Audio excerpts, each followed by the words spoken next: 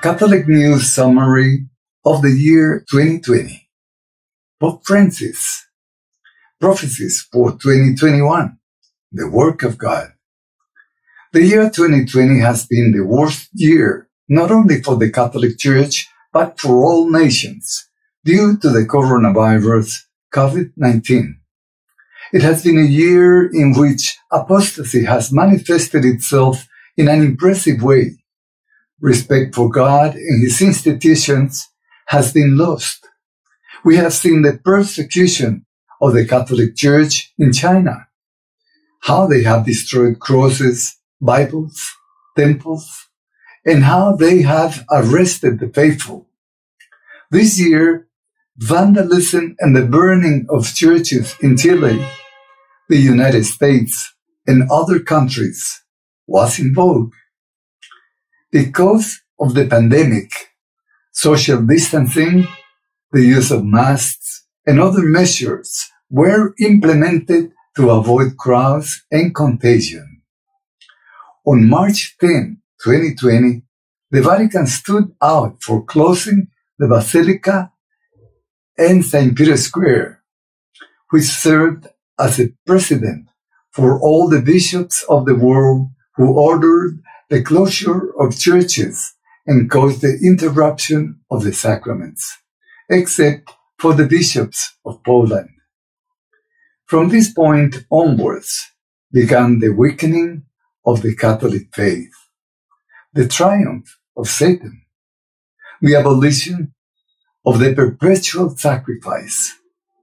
It was the moment for change to the new virtual mass. Around July 2020, they began to open the churches for the faithful. But what a surprise! We no longer returned to the traditional Catholic Church.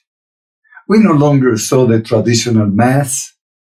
We no longer came to the temples to worship the Lord, but to worship the established modern protocols with the excuse of avoiding coronavirus infections.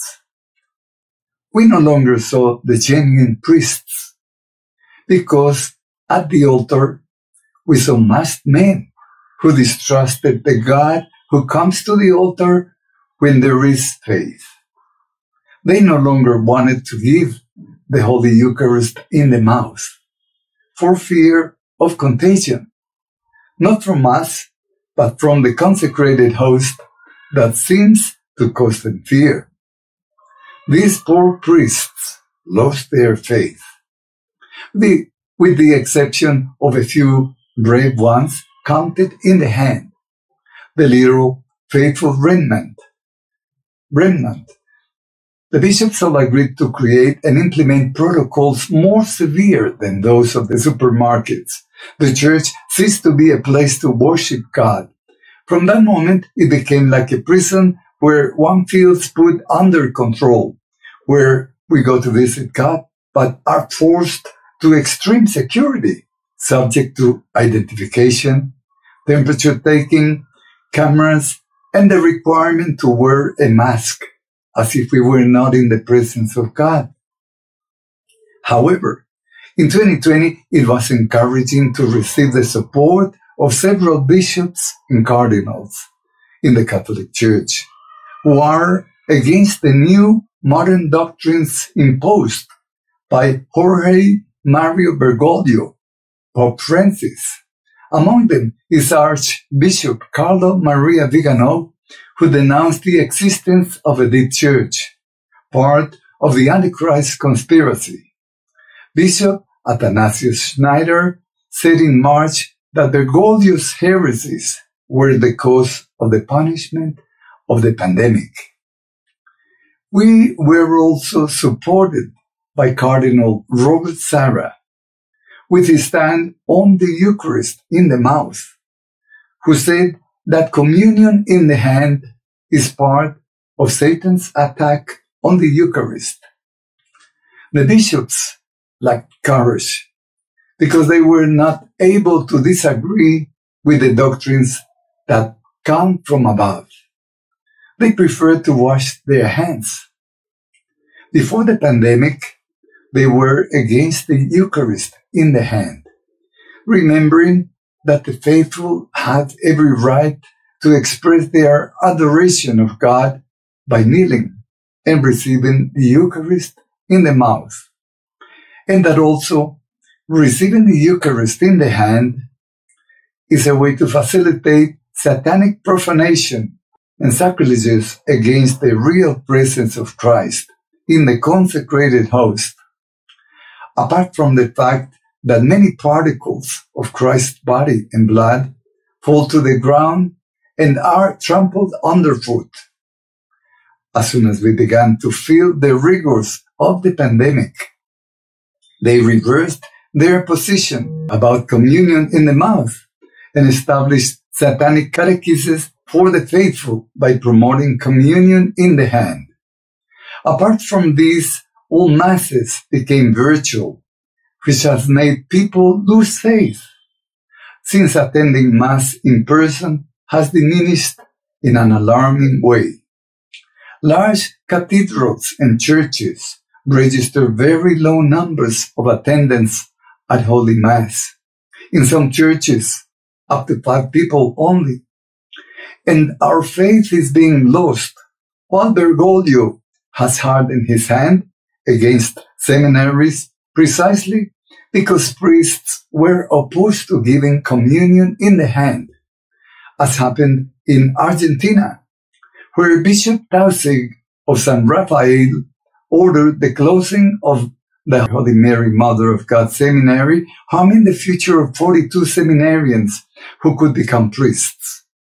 The year 2020 has been a year for the wolf in sheep's clothing.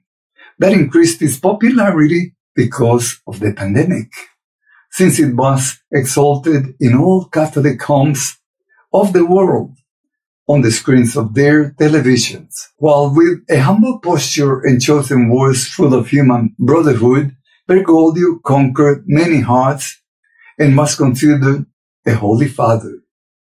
On the other hand, he caused serious damage to the church. Although for many, this is invisible because they lack discernment. With all this, Bergoglio has paved the way for the Antichrist.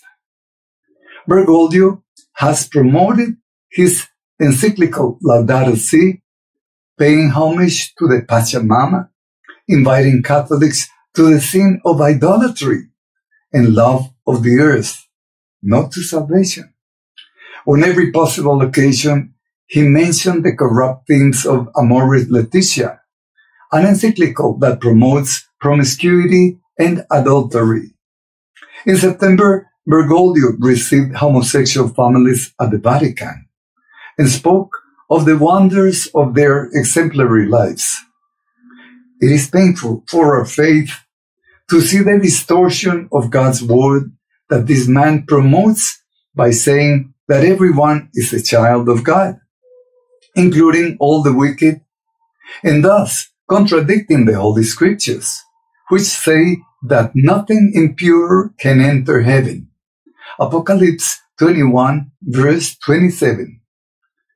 And to make matters worse, on October the 3rd, 2020, Bergoglio launched his encyclical Fratelli Tutti, a tribute to Freemasonry that promotes human brotherhood, a Trinitarian pillar of Freemasonry. There he calls us to be all brothers, to mix pagans with believers in God. In a mixture or tutti frutti that does not recognize brotherhood in the blood of Christ, or fraternity with God the Father, a unique gift of Catholics, but denies the Word of God and promotes the doctrine of the devil. On October 15, 2020, Bergoglio signed the Masonic Global Educational Pact that perverts the education of children with gender ideology and promotes abortion and population decline with birth control, all in accordance with the UN agenda. On November 10, the scandal of Cardinal Theodore McCarrick came to light. He served as Archbishop of Washington, D.C., and managed to ascend in the church hierarchy despite allegations against him of sexual abuse, which were not properly investigated by three popes. And this was only one of several sex scandals against priests in the year 2020. To end the year, Mr. Bergoglio, ally with the world order, servant of the devil, and politician in favor of global education, calls on all nations to offer the vaccine to all human beings, thus agreeing to the imposition of the mark of the beast announced in Revelation chapter 13, verses 16 to 18. These were some of the news of this year, influenced by the evil of Satan and human perversity, in which we began the countdown to the coming of Christ. In conclusion, we can say that in the year 2020, the temples have been closed. The perpetual sacrifice of the Holy Mass has been interrupted. Apostasy reigns. The Antichrist has his voice with the false prophet. The priests and the people of God have lost faith. What is left for us to do? All that remains for us to do is to trust in God, to increase our prayers, and to hold on to the Holy Rosary. What can we hope for in 2021? The prophecies will prove their veracity. We will have more influence from the Antichrist.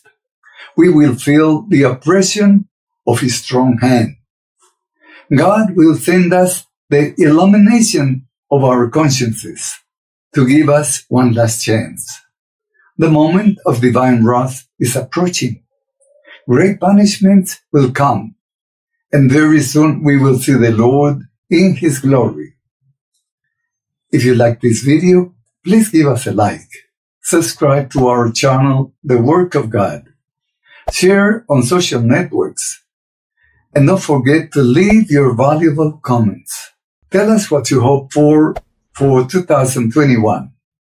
God bless you.